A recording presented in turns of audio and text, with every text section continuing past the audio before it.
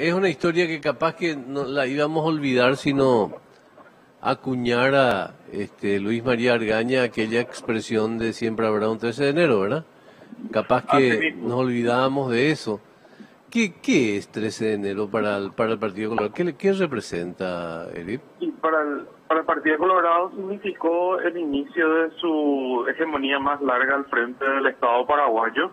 hegemonía que empezó un 13 de enero de 1947 y que cesó cuando en abril del 2008 el señor Fernando Lugo ganó las elecciones generales de aquel año. O sea que significa prácticamente fueron 71 años de hegemonía política del Partido Colorado con distintos gobiernos, en el medio la terrible y nefasta dictadura Alfredo Stroessner,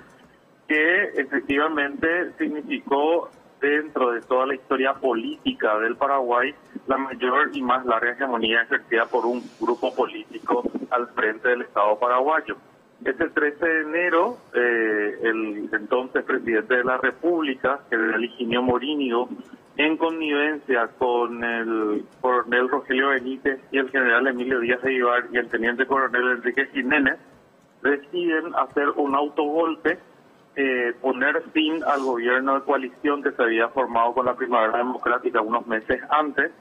y dejar solamente al Partido Colorado en el poder. esa decisión estaba en contrario de lo que la Junta de Comandantes había decidido porque el país había empezado un proceso para convocar a una convención nacional constituyente con el propósito de democratizar e institucionalizar la República